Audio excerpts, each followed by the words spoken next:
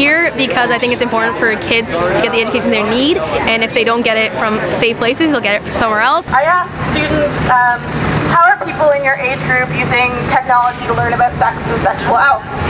Um, and I have their quotes. So this is what they're saying, not me. Pornhub, Snapchat, Netflix, RedTube, again, another porn site, um, Urban Dictionary, American Pie, Tumblr, Instagram, horny.com, which is not a website. I'm here because I think we absolutely need to keep our new curriculum.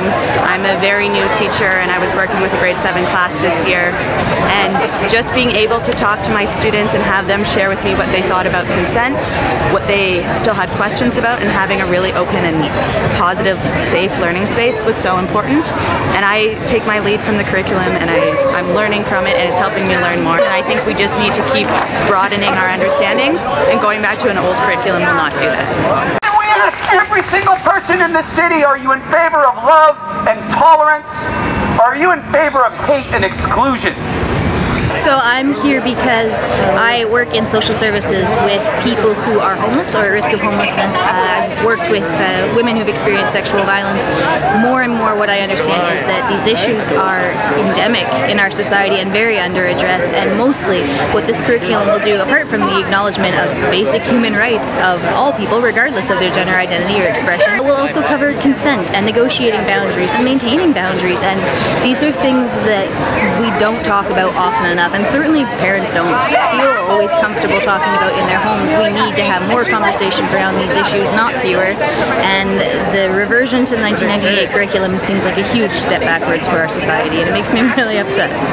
My body, my choice! My body, my choice! Your body, your choice! Your body, your choice! Keeping the updated sex ed curriculum is really important to me because I was sexually assaulted as a child and didn't realize it until like 15 years later.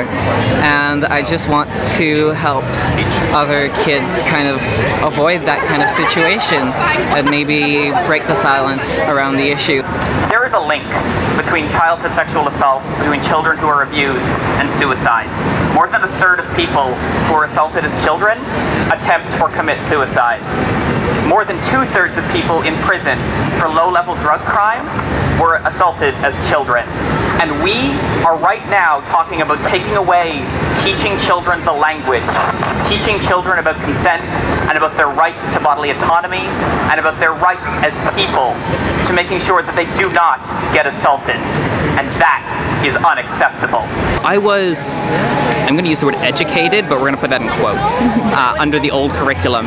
And I didn't learn all the things that you need to engage in healthy relationships. You don't get taught how to create boundaries. You don't get taught about bodily autonomy. And I think it's really important that we teach young people these skills.